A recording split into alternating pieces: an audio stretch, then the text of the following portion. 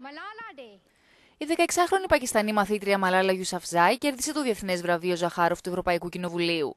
Η 16χρονη μαθήτρια μάχεται για βασικά δικαιώματα και πέρυσι γλίτωσε από δολοφονική απόπειρα εναντίον της από τους Ταλιμπάν την ώρα που επέστρεφε από το σχολείο.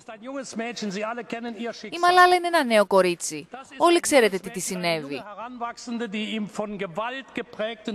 Είναι ένα νέο κορίτσι που είχε το θάρρος να σταθεί απέναντι σε ένα εχθρικό, ανδροκρατούμενο και βίαιο περιβάλλον στην κοιλάδα Σαββά του Πακιστάν. Και είπε: Θα πάω στο σχολείο. Θέλω να έχω δικαίωμα στην εκπαίδευση. Είμαι ως κορίτσι ένα ισότιμο μέλος της κοινωνίας, δήλωσε από το Στρασβούργο ο πρόεδρος της Ευρωβουλής Μάρτιν Σούλτς.